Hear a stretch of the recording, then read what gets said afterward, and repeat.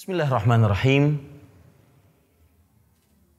Assalamualaikum warahmatullahi wabarakatuh. Alhamdulillahirabbil alamin wa sallallahu wasallam wa baraka ala abdihi wa rasulihi nabiyina Muhammad wa ala alihi wa sahbihi ajma'in. Amma ba'du. Saudaraku seiman, ketika melihat kotak infak masjid ini saya jadi teringat beberapa hadis Rasul Shallallahu Alaihi Wasallam.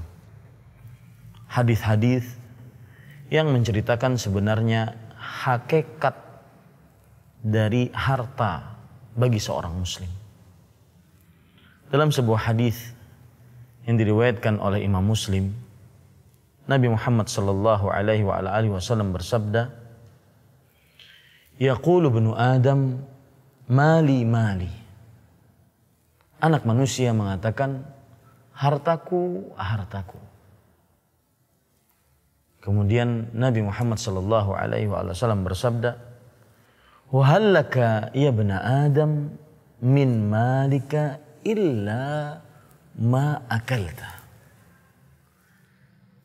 Au fa'afnaita au labista fa'ablaita au tasaddaqta fa'amdaita Artinya, wahai anak Adam, apakah kamu memiliki dari hartamu kecuali yang engkau makan? Kemudian itu akan habis. Atau yang engkau pakai, kemudian itu akan hancur atau yang engkau sedekahkan, maka itulah yang akan tersisa. Dari hadis ini, saudaraku seiman yang dirahmati oleh Allah, harta kita sebenarnya yang kita miliki adalah yang kita sedekahkan di jalan Allah. Adapun harta kita yang kita simpan-simpan, yang ada di rekening kita, yang ada pada box penyimpanan kita itu bukan harta kita. Tetapi harta ahli waris kita. Harta yang mana kita hanya menyimpannya di dunia. Tetapi tidak bisa kita bawa di akhirat. Makanya dalam sebuah hadis riwayat Bukhari.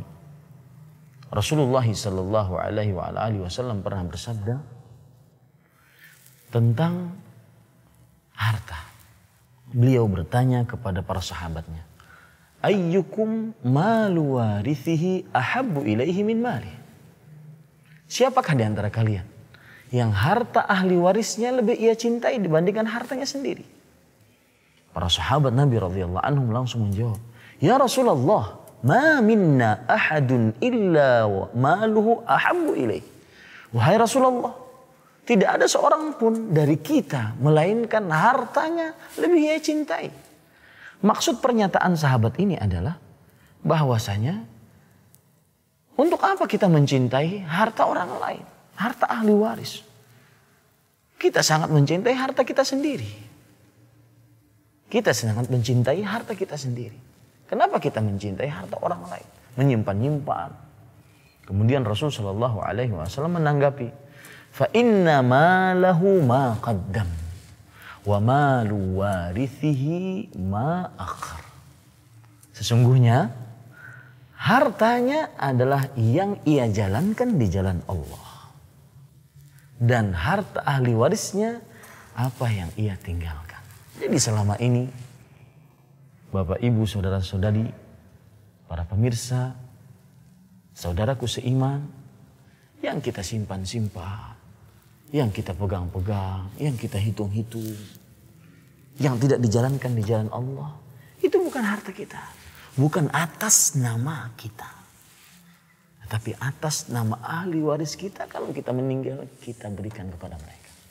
Yang harta kita adalah yang kita jalankan di jalan Allah Subhanahu wa Ta'ala. Maka silahkan memilih mana harta yang Anda simpan Apakah itu harta ahli waris Anda atau harta Anda. Dan harta Anda adalah yang Anda jalankan di jalan Allah Subhanahu wa taala. Wallahu alam sallallahu nabi Muhammad walhamdulillahi rabbil alamin.